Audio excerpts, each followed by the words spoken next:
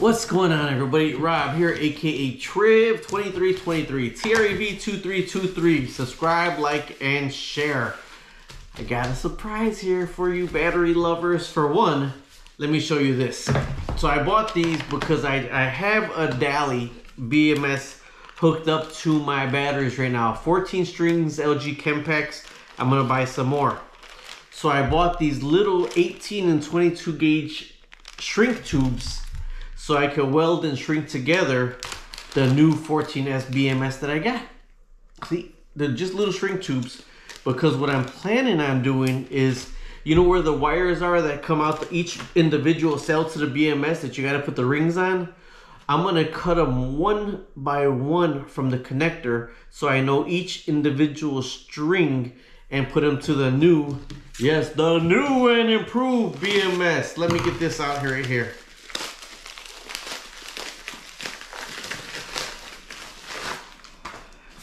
Smart Active BMS. I bought this off of eBay. Uh, uh, 0.6 amp balance, continuous current 100 amps, uh, peak current 200 amps. Now these are active BMSs. Oh, you see I made this into a, a, a boot holster instead of the one I wore for my belt. But this BMS right here is a programmable BMS. Therefore, let me show you, let me open it up here.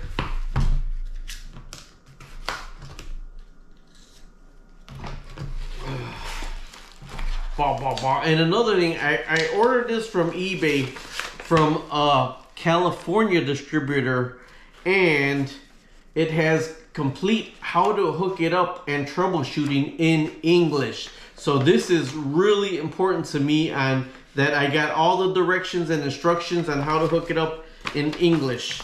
So here's the unboxing. Bom, bom, bom. Check this out. You ever see this for a BMS? An on and off button. So many people have problems just turning their BMS on and off. This BMS comes with an on and off button. How cool is that, okay? This is the BMS. Here are the uh, the balance leads, okay? So I think this one does up to a 24S connection. So there's the balance lead. 20, oh wow, these balance leads are super long also. That is awesome. I've never seen balance leads this long. So this is super awesome, okay? But it has, those are your one negative, which are number one, and then you go two, three, four, five. So I got my 14 that's on the battery right now. I'm gonna cut the balance leads and then I'm gonna put the little connections I got to the balance leads together because my ba my batteries are stacked opposite. So this way, just from the balance leads itself, I could just put these together in it. And then on my, what is it? On the 14th one, I believe it comes to the last one. Okay, so either way, that's gonna be a whole different thing installing this BMS. Now this is the piezo resistance the piece the resistance right here. Here is the Daly BMS, a 0.6 amp active balancer. Okay, I don't know what happened, shut off there. But this is the one thing that I didn't like. Okay, so these right here are gonna be your sensors, your heat sensors, two of them. And that's actually longer leads than the Daly also. It's longer leads than the Daly. But the good thing is these are soldered on. On some of your BMSs, you got to solder these on. But there's two of them. So basically, I'm to put these in the end together in a copper end and these in a copper end together. It got your P minus and your B minus.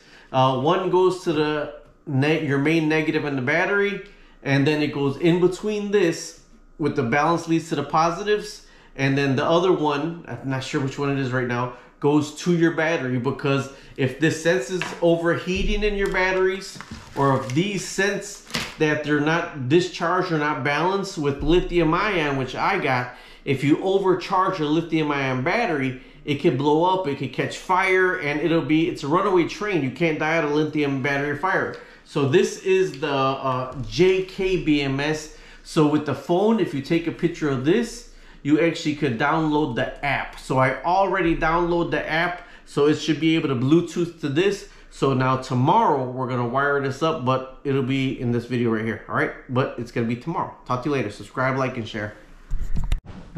All right, so this is my old Daly BMS.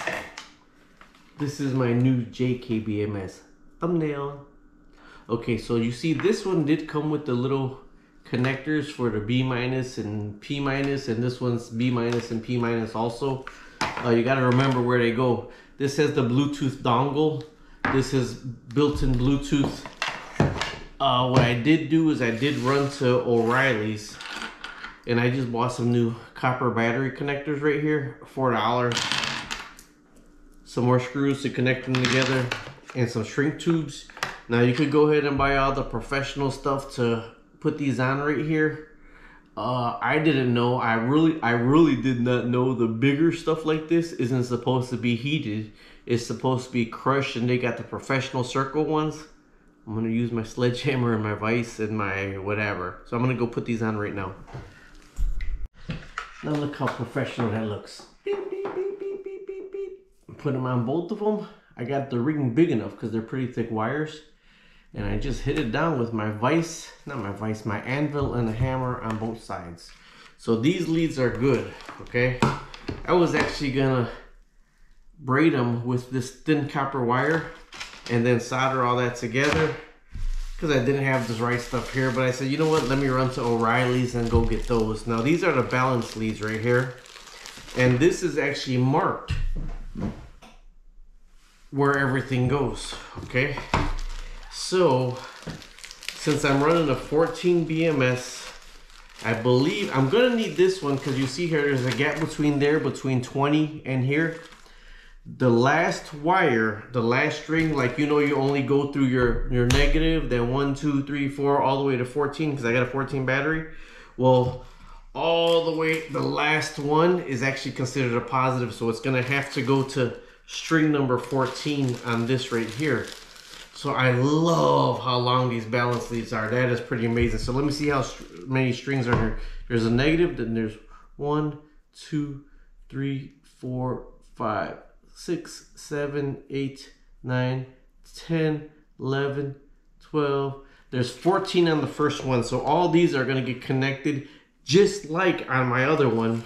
And then these are gonna be plugged in to the BMS through uh, like through B23 through B23 this is gonna get plugged in like it's to B23 but this last last last wire is gonna be with number 14 on this. So that's why let me get some of this out of here. This is why I bought all these because I don't want to take all the rings off of every little piece on the battery. I, don't want to have to go through each side of the battery, take off every ring and resolder, make new ones of these. So I bought these because I'm gonna put them in together and melt them together with a heat gun. And then, so I'm gonna have like some extra long balance leads or I could cut the other ones further back. So I'm gonna start, I'm gonna clean up up here and then we'll go downstairs and we'll start doing the balance leads. Now before I throw this Daly away, I'm gonna cut this off, I'm gonna cut this off, and then we'll take it apart in another video because I saved whatever copper I could. If there's any copper rings or copper around here, I'm gonna take all the copper out of this before I throw it away. Okay, so let me learn you something right here. We're in the basement, there's a Growatt inverter. Here's the 14S battery. This is about the batteries in the JKBMS. I'm going to rewire all this. This is not where it's going to be. That used to be in the cooler down there till uh, I had a problem with the NMC connectors first that were going out weren't letting any power through. So I bypassed the NMC connectors. That's why these look this looks like that. And then I troubleshot it I bypassed the 70 amp breaker. So now I'm going to connect all that right even before I do this. But these are the old BMS leads for a 14S Daly BMS the negative goes to the negative of the battery. Then each one of these positives goes to each side of the battery. You see the spaghetti wires? Here's a positive on this side, a positive on that side, a positive this side, a positive on that side, all the way up to 14. So what I'm going to do, since I know this has to be wired the same way, the exact same way as this one, I'm gonna cut these one by one and fuse them together with this one by one. So I'm going to start by getting this prepped. I don't have any more NMC connectors, but I am going to put the breaker back into it. And then since this is a 14S and this is a new 14S, these should all just be one by one clip and fuse to exact this directly matched directly. But this last one this 14th one I got to remember to put that last string of the BMS onto this. Now here's the main positive coming out of the battery. And then there's the main negative coming out of the battery this main positive bypassed that right now when I was troubleshooting. So the main positive is going to go back over here. Now the main negative right here the main negative goes directly to the one side of the BMS and then out of the BMS you go to the main negative right here. So I'm gonna get this connected right right now.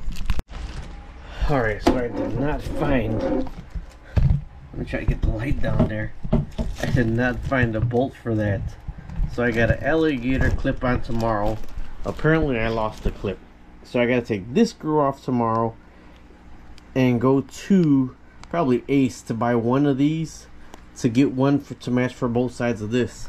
So the negative is right down here. The negative not connected to anything. As a matter of fact I'm gonna go ahead and this is the negative for the Growatt right here. This is the negative for the Growatt right here this is the battery negative right here that I'm going to tape up here's the hot for the negative and it goes to right there through the breaker into the Growatt. Now this is the old, this is the old Daly uh, uh, connection to every positive of this battery right here. This is the new connections for the new JK and here's the shrink tubes. So I'm to do the negative first. Where's that? To the negative and then each one, two, three, four, each one. Let me put this on do the negative first cut the negative attach it to this negative cut one to one two to two three to three all the way till I do all 14 of them shrink tube them with these okay no turning back now we're gonna do one wire at a time these are connected to the battery starting with the negative wire this is going to the main negative of the battery and you have to have it go to your BMS. These are tiny wires. See? That's the main. And here's the BMS wire. So I'm to grab the main negative of the BMS wire. Give myself a little bit more wire on here. Get a shrink tube. And before I finish with this, I'm to test each one of these cells. Now the shrink tube is to go make sure I got the wire all the way through the copper and on this side make sure I got all the wire through the copper hard to see actually and when you're shrinking these tubes don't heat your battery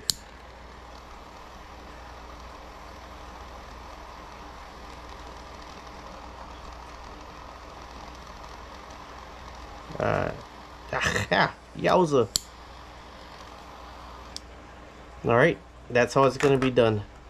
Now I'm going to do each individual cell. So now that was number one. So if we take the number two red it's going to exactly match the number two on this or the number one battery. Actually it's the number one battery. So if we take the number one battery right here next to the negative it's going to completely match this one right here so you see what I'm doing here I'm just going to do that 14 times Alright, before anybody comments, I redid that first shrink tube.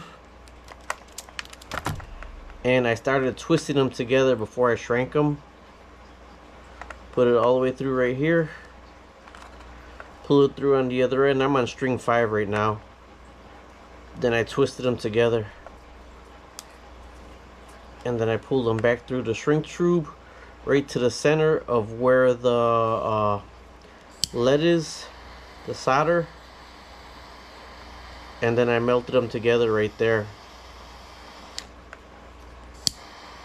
You gotta be careful with these lithium ion cells because they are dangerous. So that's how they're shrunk.